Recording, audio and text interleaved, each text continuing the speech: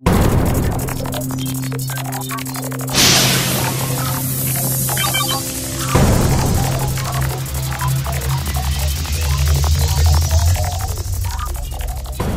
ครับ พบกับ review Lenovo P780 ภาคฮาร์ดแวร์ และการใช้งานทั่วไปนะครับ เรามาดูสเปคของ Lenovo P780 กันก่อน Lenovo P780 มีหน้าจอขนาด 5 นิ้ว ใช้หน้าจอแบบ IPS LCD ความละเอียด HD มี CPU Quad Core ความเร็ว 1.2 GHz RAM 1 g b มีความจุภายในเครื่อง4กิกรองรับ microSD สูงสุดที่ 32กิกนะครับ มีแบตเตอรี่ขนาด 4,000 มิลลิแอมซึ่งถือว่าเยอะมากสำหรับ มือถือที่มีขนาดหน้าจอแค่ 5 นิ้วนะครับ และเจ้าตัวนี้จะรองรับการใช้งานถึง 2 ซิม ซิม 1 จะรองรับการใช้งาน 3G ซิม 2 จะรองรับการใช้งานแค่ 2G นะครับเอาละเรามาดูรอบเครื่องของเจ้า Lenovo P780 กันดีกว่า ก็ Lenovo P780 นะครับ หน้าจอความละเอียด HD นี้ ด้านหน้าก็จะมีโลโก้ Lenovo อยู่ด้านบน และมีดูลำโพง ตรงนี้นะฮะแล้วจะมีไฟ LED อยู่ในลำโพงสนทนา มีกล้องหน้า ขนาด 1.2 ล้านพิกเซล อยู่ข้างๆ โลโก้ Lenovo นะฮะด้านข้าง ด้านล่างประกอบไปด้วยปุ่มเมนู Home และปุ่ม Back นะครับ การจะดู Listen App จะต้องกดปุ่มเมนูค้างเอาไว้ เพราะถ้ากดปุ่ม Home ค้างไว้มันจะกลายเป็นการเข้าถึง Google Now ไปนะครับ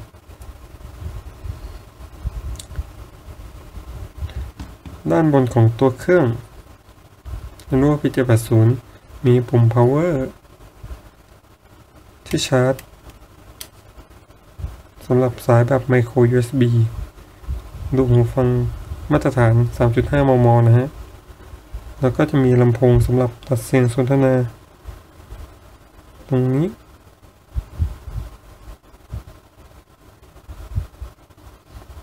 มากันที่ด้านความเครื่อง ก็โล่งๆครับไม่มีอะไร ส่วนด้านล่างของเครื่อง ก็จะมีไมโครโฟนสนทนาอยู่ทางด้านนี้นะครับนี่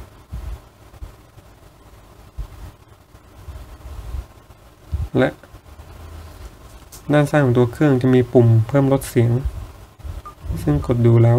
ก็แข็งแรงกระชับดีครับ ด้านหลังของตัวเครื่อง Lenovo P780 เหมือนจะทำจากเหล็กนะฮะ ดูแข็งแรงทนทานดีด้านบนด้านหลังจะมีกล้องความละเอียด 8 ล้านพิกเซล ค่ารูรับแสง 2.0 พร้อมแฟลช LED นะครับ และ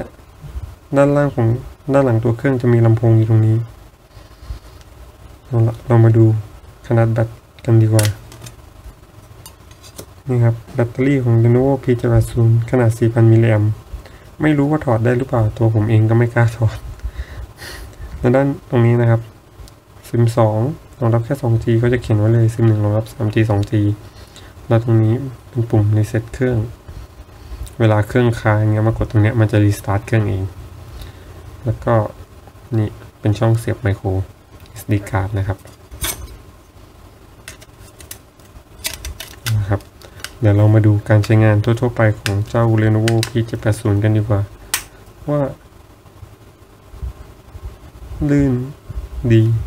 หรือไม่ใช้งานแล้วเป็นยังไงนะครับ ก็ลองดูกับเว็บเบราว์เซอร์ก่อนเลยแล้วกัน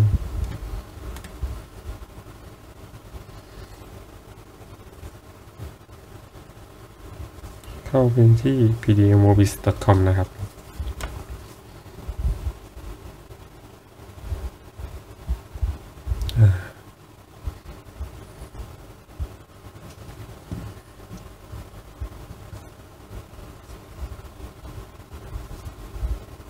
ก็ลองโหลดอยู่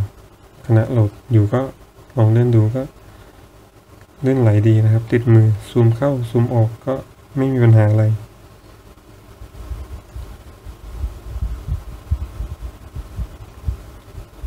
ไปจนสุดดูขนาดตัวอักษรแล้วก็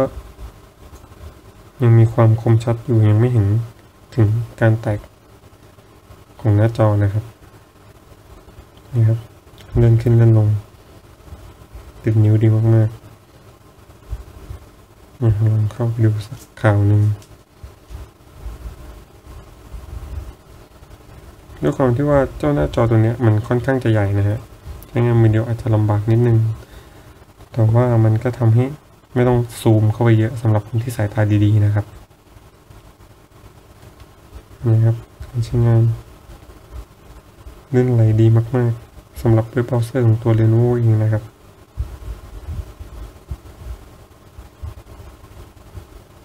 เอาละเราลองไปดู การใช้งาน social network ทั่วไปบ้างดีกว่า สมมติลองเข้า Twitter ทดสอบ การโพสต์หรือการอะไรดูมันขึ้นและลงไม่มีปัญหานะครับใช้ได้ปกติ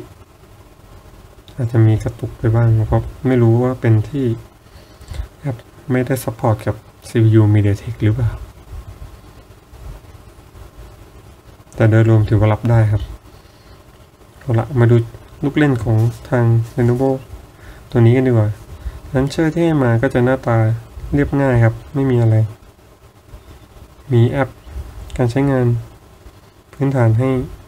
ค่อนข้างครบครับ ไม่ว่าจะเป็นการจัดการไฟล์นาฬิกาที่เอาไว้ตั้ง เตือนได้ปลุกได้นะครับ จับเวลาเวลาโลกดูได้หมด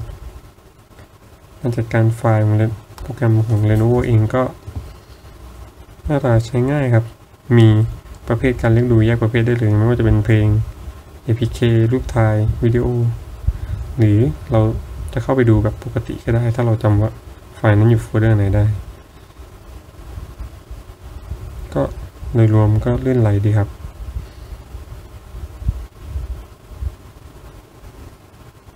และที่สำคัญเลยคือ Lenovo จะให้ แอปที่ชื่อว่าการประหยัดพลังงานมา ซึ่งตัวนี้มันจะคอยควบคุมการใช้พลังงาน อยู่ที่ว่าเราจะตั้งว่าจะใช้แบบไหน สุดขั้วยาวดีที่สุดหรือกำหนดเองครับ อันนี้ผมใช้แบบดีที่สุด ก็ยอมรับครับว่าค่อนข้างจะอึดเลยทีเดียว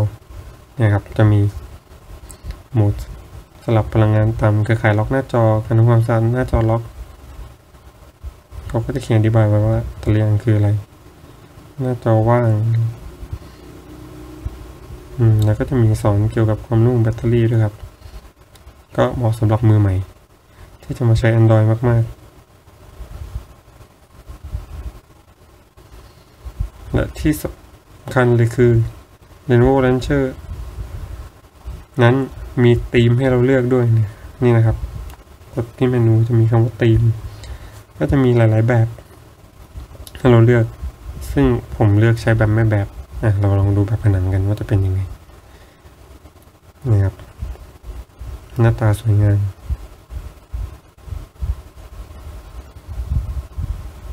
และ Lenovo ยังให้วิดเจ็ตตัวนี้ ที่ชื่อว่า Cleaner นะครับ เอาไปใช้เคลียร์แรมเวลาแบบแรมมันใช้ถูกใช้ไปเยอะๆแล้วละผมว่าเรา มาดูสเปคตัวเครื่องของ Lenovo กัน จากแอปชื่อ CPU Z นะครับ ตามที่ผมพูดไว้เมื่อกี้ นี่นะครับ Lenovo P780 อ่าใช้ Android 4.2.1 นะครับ ความจุภายในเครื่อง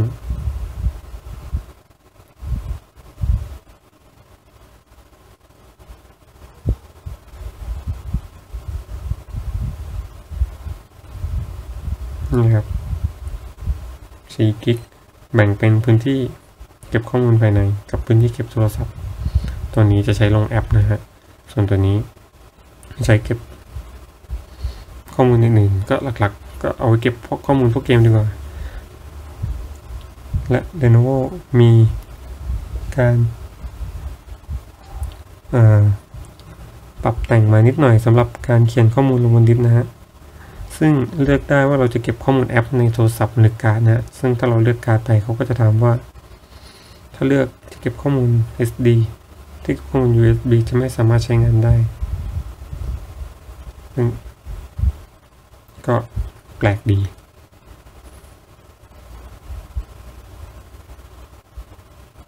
ที่เหลือลูกเล่นหลักๆก็ ไม่มีอะไรครับ เรื่องวิดเจ็ตก็จะมีให้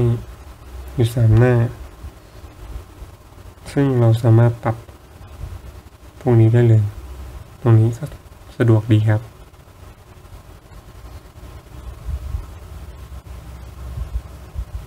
อะเรามาลองดูวิดีโอกันบ้างว่าดูวิดีโอบน YouTube แล้ว จะลื่นไหลขนาดไหน และเสียงของเจ้า Lenovo นั้นจะเป็นยังไง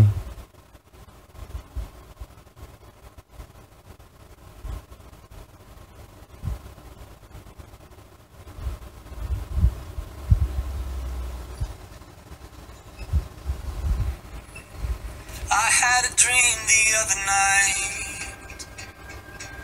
about how we only get one life. ดูจากวิดีโอแล้วจะเห็นเลยว่า Woke me up right after two. Stayed จอ awake IPS and LCD เนี่ยมันจะสีที่เป็นธรรมชาติมากๆเลยครับ lost my mind. เสียงลำโพงก็ I had ดังใช้ได้เลย